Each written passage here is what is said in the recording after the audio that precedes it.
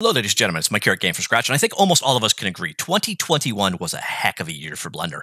There was a ton of advancement, a ton of new people came on board supporting the Blender Foundation. Basically, all the hardware companies are out there, all the operating system companies, basically everybody supports Blender right now, and it was a great year. We got a number of new features there, and now what we're going to look at is what is going to be coming in 2022, because the Blender Foundation basically just announced their priorities for 2022. But first, let's start with a recap of 2021, and the best way I can illustrate that is with some some dessert. What you see in front of you is a tart. And what I can do is I can come into this tart, and you can see we've got strawberries right now, and I can switch this up so that we now have uh, something disgusting, I think like a key lime. Here we now have blueberries, and here we now have uh, black currants, maybe. I'm not actually 100% certain.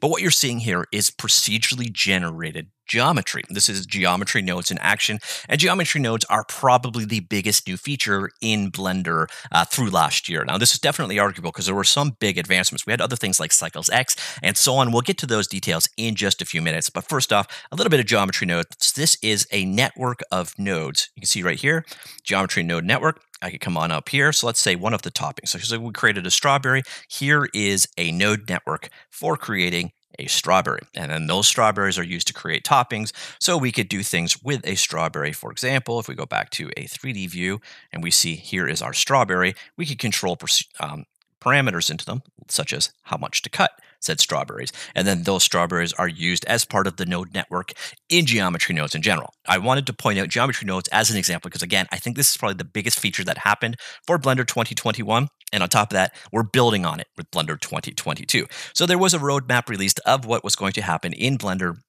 and the key priorities were a number of different things. This one just happened in the most recent beta. We have a new asset browser and pose library. Library overrides, well, we'll get back to that because that's a 2022 thing now. Geometry nodes, uh, we saw just in action right now. Probably, again, the big feature of 2021, in my opinion. Uh, a Vulkan backend still under development, so we're going to be waiting on that one. Grease pencil improvements, long term support versions. Cycles, we have Cycles X, which is the 10th anniversary version of Cycles, which is like 7 to 10 times faster than it used to be. Uh, animation character pipeline this is still ongoing. They got a grant of one plus million dollars to work on animation specific tools. Ongoing work right there. USD importer, USD being universal scene, I think descriptor, uh, description. anyways, it's a universal file format from Pixar. It's being adopted by pretty much the industry. Uh, so they've gotten better and better USD importing and exporting functionality throughout the year, and that will continue to improve as well. And then some UI improvements. So those were the big projects in 2021. Again, some of them are ongoing, and we're going to see improvements in a variety of these categories in 2022. So now we're looking at the strategic targets for 2022. This is the big announcement out. The Blender Institute has announced basically their priorities going forward. It's a recap of the major things that they nailed in 2021. And here is what we are looking at in 2022's agenda. So, application templates, overrides, physics, and texturing. Now, we have more details on many of these things, so I'm going to cover them in, breakdowns later on, such as application templates, overrides, uh, and physics. So, the one we're talking about here specifically, we have no more information on, is what they're going to be doing with texturing. Now, texturing uh, is a combination of node based textures and mask painting will help towards a better non destructive painting pipeline within Blender. Brush management and performance are related topics that will be visited as well. So, texturing is going to be a priority in 2022, which I definitely like to see. I would definitely like to see improved texturing tools but there's no project page or more details or anything else to drill into. So now we're going to talk about those three other features, application templates, overrides, and physics.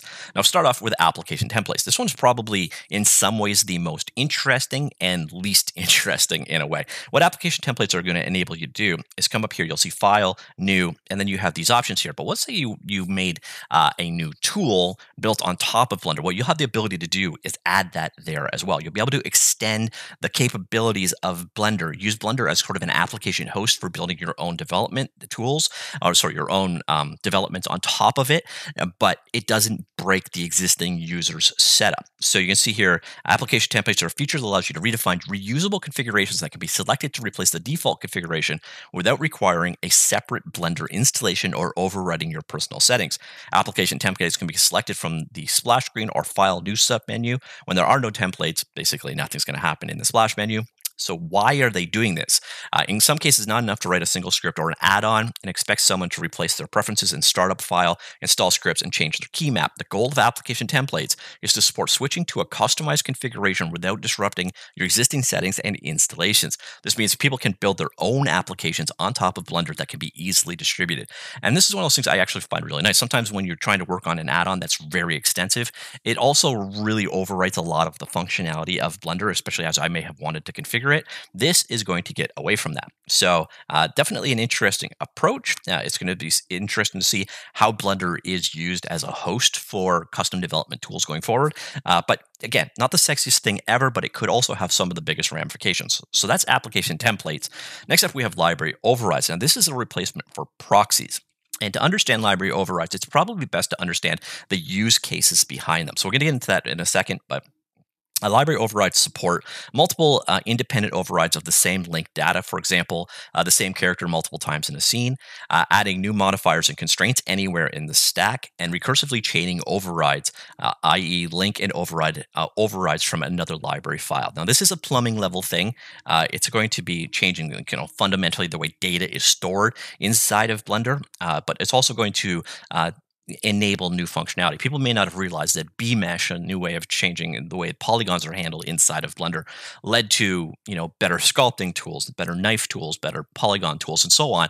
This is the same sort of thing, but it's at a data level with the way that objects are represented internally to Blender. Now, in terms of why you'd want to do this, well, here we can see some use cases from the project page on it.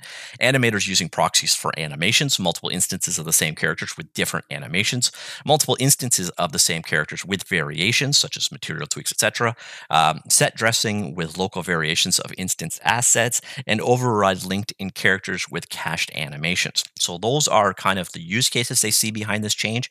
And then if you head on down here, there's actually a video kind of um, it showcases the shortcoming of the current proxy system that animations are going to be replacing. So it goes through a number of different scenarios where the current way that Blender does things breaks and what um, overrides will ultimately accomplish there. Again, it's a plumbing level change, uh, but it's going to enable better workflow, better uh, tool support, better everything on top of it. So again, it's not something like a new um, texturing tool that you can immediately interact with, but it will change the way you work with Blender in a positive manner at least if it's done well. And then finally, we come back to nodes and physics. Now, nodes is the big thing from 2021, again, in my opinion, the geometry nodes, but there is a move towards everything as nodes. This is very Houdini in the way that Houdini works. Side Effect Software's Houdini is a very procedural driven, node driven software. And, a node eh, is kind of can be thought of as like a building block or a Lego block. You bring all those Lego blocks together um, to build more complicated systems, and, and that is uh, kind of how geometry nodes works right now. You start with you know basic shapes, combine them together, create your own. Uh, so you saw in that example a strawberry, and then you can use that node network you just created in another node network as a topping on top of. So you can see how these interaction of nodes can really change the way your workflow works. Well, where they're moving next is to implement this into the physics system. So geometry nodes uh, is already in place. I expect through 2022 we'll also see improvements to geometry nodes, but it's moving into the area of physics. So we're going to see um, simulations, many physics systems such as rigid bodies, uh, cloth, uh, fluid, and smoke, the MantaFlow systems, as well as soft bodies, those are all going to be node driven as well. The existing uh, bullet based physics system will still be in place, uh, but you will be able to drive physics simulations using node networks, which what I really kind of like about geometry nodes right now is it's also kind of a way of creating reusable tools, quite simply. You can send a blend file over to somebody with a geometry node network in there, and then you just set a couple of parameters, and it you know really changes how the, the node node network works. Like as we saw in action, changing uh, the cut here changed how the strawberry itself was generated.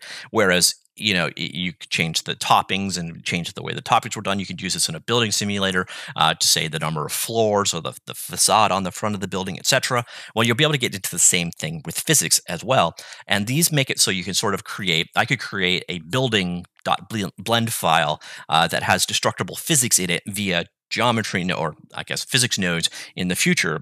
And then you, as an end user, can just use my work. It does really make the uh, extensibility of Blender and the functionality. It, it, technical people can create some really complicated systems that previously would have required either a plug-in approach or um, you know some uh, uh, Python scripting, etc., to accomplish it. Well, Nodes kind of really opens that up and it makes it uh, reusable, reshareable. And I guess you could probably interact with the new override system uh, to make things work even better. So uh, that's where they're working from here. Uh, you can see there are, there's going to be uh, projects. There's no project page for them yet, other than the Geometry Nodes project. But we're going to see MantaFlow rigid body physics and cloth simulations all being added here as well. And I also think Function Nodes is going to bring back a little bit of the functionality that we saw from uh, the Blender game engine uh, in. So you're going to have a little bit more uh, scriptable ability, but it's going to be using nodes uh, in that particular case. So uh, that is it. So again, we had big developments in Blender 2021, and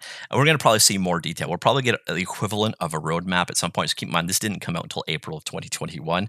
What we see today, this is more of a strategic target. It's a top level thing. This is what the Blender Institute's main development tasks are focused on in 2022. And again, quick recap application templates, which enable you to basically create your own applications on top of Blender without uh, messing with a user's local settings. So it really kind of adds to um, making Blender a tool for creating tools going forward uh, and making those tools easier to use for end users without it clashing with their own development environment.